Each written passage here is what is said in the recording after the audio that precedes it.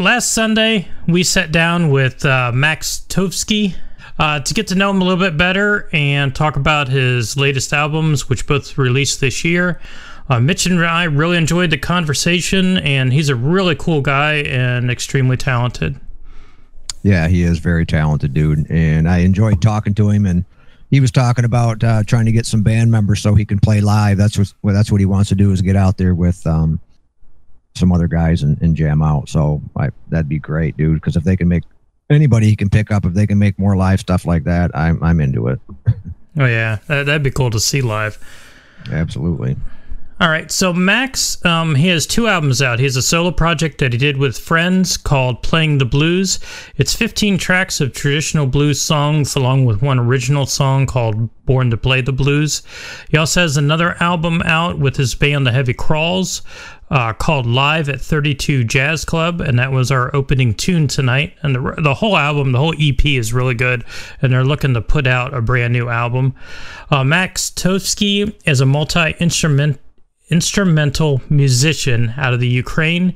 He plays a mix of vintage blues, rock, and modern neo psychedelic rock. He is inspired by bands such as Led Zeppelin, Black Sabbath, Cream, Allman Brothers Band, Jimi Hendrix, and modern bands like the Black Keys, Dead Meadow, and Gary Clark Jr. In this interview, we talk uh, a little bit about a, couple of the songs that we had mentioned the song, and two of those songs were Red, Loose, Red Rooster and World of Sin. So I cut the video, and uh, not the video, I cut the audio up into three segments so we could put in those two songs in the middle of the interview. And we start the interview off by asking who is Max? My name is Max. Uh, I live in Kiev, in Ukraine, and uh, I am full-time musician for last 10 years. And all I do is like playing my music oh well not just my music i mean playing music for living and I, i'm very thankful very grateful I, I managed to do it not like work in some other type of jobs uh, so i mean like music is my 100% of my life so uh, yeah i play guitar i sing and sometimes i also play like other instruments as well i record my own music i play in the heavy crawls in my own band uh, under my own name, like Max Tovstyi Band. And uh, yeah, I, I try to give like at least 100 gigs a year. My my record was 127 two years wow. ago in mm-hmm. 10 countries. And uh, yeah, like this Friday I had two gigs in a row. I mean, it, that was tough. Like one for 8 o'clock and the other one at 10 o'clock in the evening. It was quite exhausting. But this is what I live for. So yeah. You do a lot of live shows, right? Mm-hmm, so mm-hmm. how does that work for you since you play a lot of your own instruments when you go to do the live shows? Well, I've got I've got a couple of guys to play with me for years. Like I am playing with a bass player for maybe seven years, and drummer is with me for five years, and we we played through several bands. Then they decided like mm, not kind of quit music, but uh, to concentrate on like regular office jobs, you know. And uh, but uh, they told me if you need us, you just tell us when we are playing a gig, and this is it. So they kind of like don't have enough time for studio re- recording rehearsals. They just like learn my songs and we play it. So this is it. But like the Heavy Crawls is like a proper band. I mean, with like uh, regular regular rehearsals and uh, all this stuff. Right. So it's it's not, it's not, not a problem for me. Sometimes I play even alone, but mostly with with my with uh, with some great musicians. I mean, I, I have like even a couple of drummers and bass players. If one is like sick or I don't know, like went on a vacation or something I just I just call the other guy and they say, yeah, we could we could learn your songs, we could play it, like no problem. Nice. So yeah, it's not not, not a problem. Well, when when you're playing like 100, 120 gigs a year, you gotta have substitutions.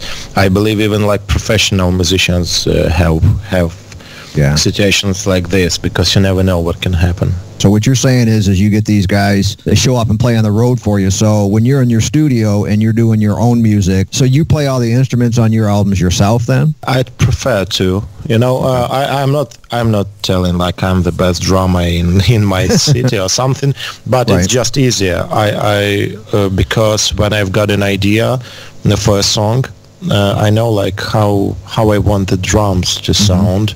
You know, uh, the drum, the bass, and whatever. So I have like two options: either to call a guy and say, "Hey, can you play exactly what I want?" Uh, I don't know. Maybe he'll ask like for money. I said, "Come on, I I can do it better or whatever." So it, it's just easier for me to play. As I'm actually playing drums for 11 years, so I I played like a couple of bands as a drummer. So I got some experience in touring and uh, playing and recording. So it's just easier. And sometimes I, I just want to record a song like this very day. I wrote it. I don't want to want. I don't want to wait uh, when we gonna learn it, uh, practice it enough. Uh, you know what I mean? So I just say, okay, let's do it. Like in the morning, I go to my studio, and in the evening, I have a song. Like it's it's just easier and more fun for me. Maybe I'm more too introvert. I don't know. Do you Yeah. do you pick up musical instruments naturally, or do you have to learn them? And how many different things do you know how to play? Oh well, I don't know. Uh, well, when I was six years old, uh, my parents sent me to like musical school. I was playing violin and piano. now I can't play Okay. both actually. Maybe a, a real, a real shitty piano though, but like violin, I think like impossible. And uh, guitar, bass, drums, like harmonicas, whatever. I, I just, I just self-taught. So, uh, but I, I've been practicing a lot. I remember when I was like 18 years old, I was playing like for five years a day, at least. So you actually have two new albums out this year. You've got one with the heavy crawls, and then you've got your solo CD, uh, which Mm-hmm. is just basically a blues album where you play with other friends of the blues. Yeah, yeah, yeah, yeah, yeah. It, Blues, it took yeah. it took it took five years. It took five years to record the album. I just Wow. wanted to record with like everyone I used to play. Used to call a guy and say, hey, do you want to like play drums on a couple of songs like good old times, or maybe you want to play some harmonica or keyboards or whatever? Say, yeah, sure, why not? It like it it never took st- much time, so said, yeah, would you like to do it? And everyone said yes. So I read that you own your own studio then, obviously. Um, do you produce and master other, like any other bands? Do they come to you? Yeah, sure, have- sure, sure. Okay. Like like just a couple of days ago, I was recording a band, and uh, next uh, booked day for me is like next Thursday. Uh, some other band I never heard about them before. They also booked my studio. It's kind of alright. It's Okay. like no, not not too expensive, and I and I got lots of cool vintage gear, like late '60s, early '70s amplifiers and microphones. You know, so the guys who like the blues and like classic rock and whatever, like this, they would choose my studio over some fancy one. Not mm-hmm. because of the price, because of the like you know, if you want to sound like proper dirty bluesy I don't know how like tube sound know all this stuff. So they they would they would better pick my studio to be fair. So up to that point, you say you've been you said you've been doing uh, you've been in music professionally for ten years. yeah. Just, yeah just doing since I opened my studio. Yeah Okay. when, yeah when I took a loan yeah this is how you call it when you like borrow some lend some money right? When I took a loan I decided to open my studio and never do anything else. I mean, I one day I woke up and said, "Hey, I don't want to work in the office. I want I want to have my own studio. I want to play gigs. I want to maybe teach a little bit of guitar to somebody else, and this is it. Like everything about music. I mean, like in, in, in the daytime, I record some guys, or they can practice in my place, and in the evening, I play my gig, and this is it. Yeah, it's it's kind of possible if you really want it. Just you just don't have to be afraid to like to borrow some money. You know. Is there any kind of a blues scene in the Ukraine?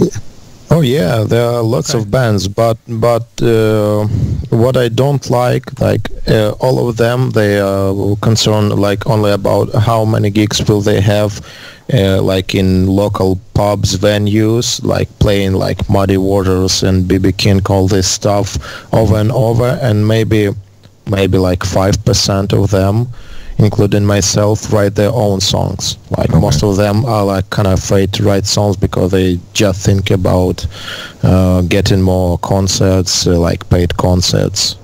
Not not not caring about. So no originality then, basically. Yeah, yeah. It just it just kind of like work, you know, like uh, just like a job. Uh, this is what I don't like because I I have much respect to the guys who play their own songs. I'd love to support them, like play together. Like let me buy your record, you buy my record. Let's be friends, whatever. But most of them consider it just being like a work.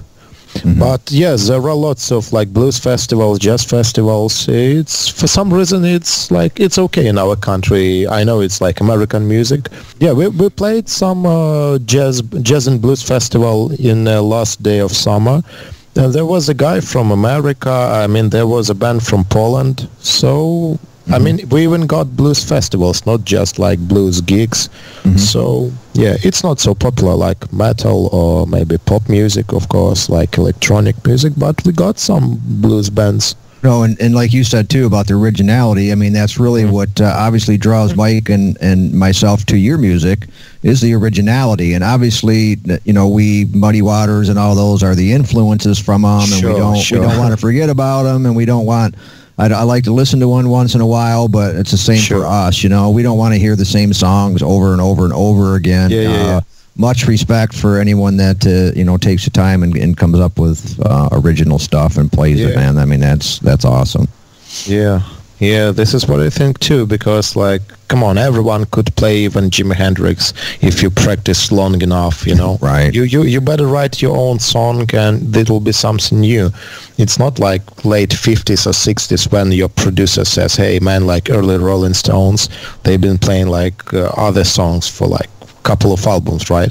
Mm-hmm. like from 63 and later until they started doing like satisfaction and stuff. But before that they were doing like chuck berry and muddy waters and all this stuff like willie dixon. Come on man you, you can write your own songs. Just just try it like don't be afraid. But yeah our album um, like playing the blues was like a tribute to all the uh, like classics only one only one uh, original song that I wrote. It's called Born to Play the Blues. And all the other all other songs were just like our versions of like Muddy Waters, Howlin' Wolf and and all of the greats. But it was uh, the the idea of the album was a collaboration between the musicians. So you yeah, know I what I wanted mean. to mention to you No, right. on one of the comments on Bandcamp was that they really liked the song uh, "Little Red Rooster." That was the best version Oh, yeah. they had ever heard of the song.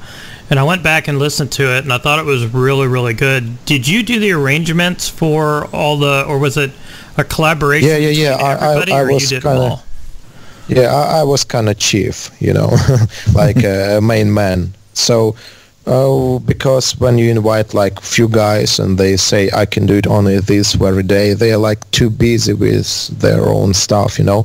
So they mm-hmm. just have to come and you have to say to them, hey man, can you please play like this, or you just improvise, or you play just a guitar solo or something. So yeah, I I, I, I kind of did everything but I said, hey, do you want to play like guitar solo? Or maybe you you have your own idea and you can think about think about anything. So yeah, but mostly I would say it's like ninety percent uh, what what I what I done. What but the guys helped me a lot. They helped me a lot. I I, I appreciate. it.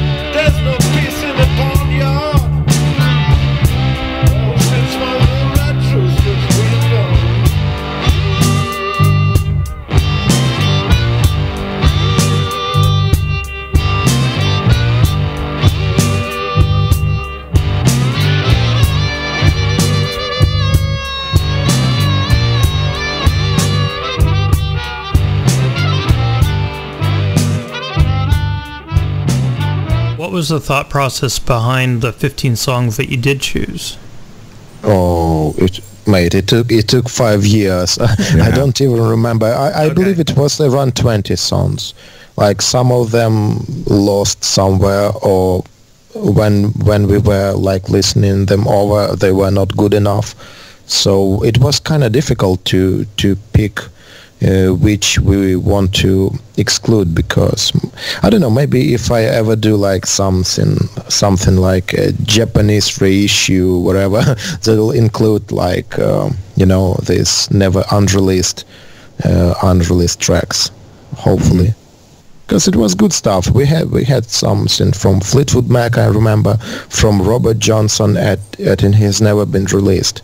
Before, when you uh, you said that your parents had you take uh, music lessons on the violin and the piano back then, when you first started doing that, was that just something? I mean, I they? hated it, mate. Oh, that's what I was. Gonna, that's what I was going to ask you. Was that something it. you hated? So at that point, So you much, Did, man. did you have any idea that you were going to be doing what you're doing now? Then at all when you were doing the music lessons, or or no? Oh, man, man, I was just a kid. I was like Okay, six so you were- years old. okay, and okay. our school is was kind of special. Like you don't have any other school in Ukraine where musical classes, art classes, dance classes are obligatory. Mm-hmm. You know. So, like, if you need your like school diploma, you have to finish all of this stuff. So, I was uh, I was going to art school for eight years. I was doing music for like six years, even dancing for four years, like choir, uh, singing, and lots of stuff. It it took ages because like my my friends from other schools, like my like you know we backyards friends. How do you call it? Like neighbor neighbors. Yeah, right. like Yep. guy guys from next door. I mean, they they had their classes finished like somewhere in like two o'clock, and I had to be in school till like four or five o'clock, like a proper job when I, when you're like ten years old, you know, and every, everybody is like doing video games or playing like sports or whatever, and you got to play your piano. Oh, come on, mate! I hated it so bad. uh, uh, and and when I was 14 years old, I I thought that like. Uh, Jimi Hendrix is kind of cool guy. I want to play guitar, Mhm. and, and this and that was something new. Like uh, at that moment, I thought, yeah, I would love to play the guitar. So I, I think you you got to be uh, old enough to, to to understand what you want to do. hmm No, absolute. Well, and, th- and that's what I was Yeah. going to lead into it. I was going to ask you at what point, since all this stuff was something that you had to do and you hated it, at what point did it turn around to where you're like, okay, this one though I like and I want to move forward. Yeah. So you said when you were about 14. Okay, that's what Yeah, I was. yeah, maybe 13, 14. Okay. Yeah, you know, you know the the times when you start looking at the girls, yeah. and they, yeah, yeah. On the album Mesmerize, uh, there's Mm-hmm. a song on there called World of Sin, and that song has its Mm-hmm. own unique sound to it. It's a song that Mitch and I absolutely love. Uh, can you Oh, give us any you. insight into how that song came about? Huh, it's a good question. It was like more than a year ago, but what I remember, I've been to Copenhagen, and uh, I was walking in like uh, night streets, like somewhere like around 11 o'clock, you know, and it was all in this, uh, all the all of the streets streets were uh, full of neon lights and all this like street bars and uh, like legal hookers or how can you call them like well you know.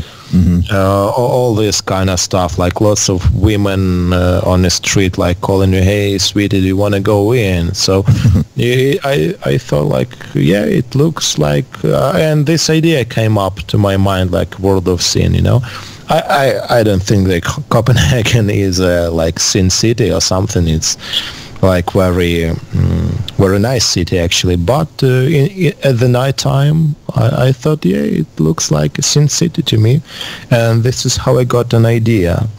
I really wanted to make a music video as well but I, then I thought oh, come on could be banned or something like I want to do it like about the drugs and uh, women and whatever so well, it's kind of cool you like the, the song. And um, about the music, I, I wanted to make uh, a music that could fit, you know, something like maybe like uh, like luxury perfume or something, uh, you know, with uh, cool supermodels and all this all this stuff.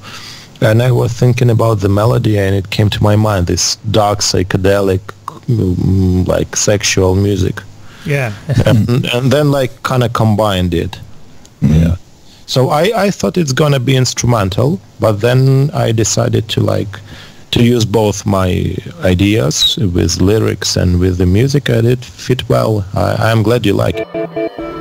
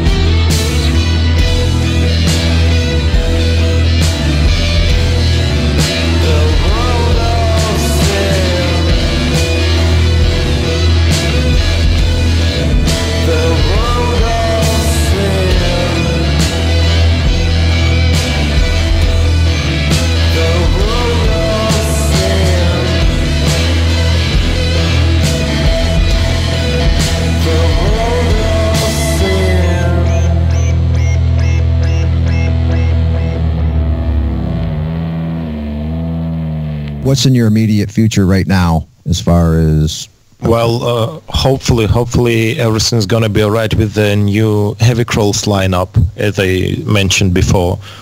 I mean, if we have this kind of magic between us, between the new drummer, new bass player, maybe we will look for a keyboard player as well. And uh, what we're gonna do first is. Uh, of course learn some old songs so mm-hmm. we can so we can tour as fast as possible you know? Like if we have an invitation we don't want to say like hey we just got like three songs you know? So mm-hmm. first of all we learn some old songs maybe do something new with them. And of course i want to new, do a new record. Mm-hmm. I have I have a couple of songs I played with my friends who are my also session musicians. You know, uh, I just ask them to learn. Like, can you learn a new song, please? And they say, yeah, okay, as soon as you pay. and uh, but what I really want to do, I want to record those songs in the studio. And uh, what I really want from my new friends like new, my new musicians what i want them to do is to think about their own lines. So I want this to be like a proper collaboration not like my other solo album you know what i mean? Yep. so i really want them to participate in in all the process in all the practicing all the rehearsing all the re- recording so yeah, I, I- I believe the new re- record gonna be my best record because I really love the songs. You probably never heard them because we like played played them a couple of times, and I'm not sure they ever been recorded. Nice. But I, I believe they will be better than than the Mesmerize and the Heavy Crawls uh, records. I think it's gonna be something else. But I really want everyone to participate in it. So what's the difference between the crawls and the heavy crawls? Oh, we were a two-piece two-piece band, you know, Okay. and everyone say, "Hey, you want to be like the White Stripes?" I say, "Kind of no, but this just it just was, it has just been easier for us to play two of us because we never needed the third player." and uh, this was it. But uh, then finally we were tired of all these comparisons and all this stuff. Then I decided, yeah, let's let's invite a third member, but not a bass player, either a keyboard player or percussionist. So we're gonna have one guitar player and one drummer and one percussionist. It's kind of odd lineup, but gonna be cool uh, and it will piss people off because the music won't change. But now we're three people band like three piece band and you, you can't compare us to the white stripes or the black keys. You know what i mean? I mean just like uh, we, we had songs where where the third um person was just playing like tambourine for the whole song. I mean i was playing the guitar and sing and uh, the drummer was drumming and uh, the third girl was just playing tambourine. So basically still just guitar and the drums but now we're three three piece band not white stripes anymore. So uh, but yeah I, I never loved uh, these comparisons. They actually pissed me off a lot because we never wanted to copy anyone musically. Like my favorite bands were like Led Zeppelin, Black Sabbath, and Jimi Hendrix, Cream, Allman Brothers. Well, White Stripes are cool, but we never meant to copy them. Well, it just happened that the drummer was the girl, and we didn't want the third guy because we were cool with this.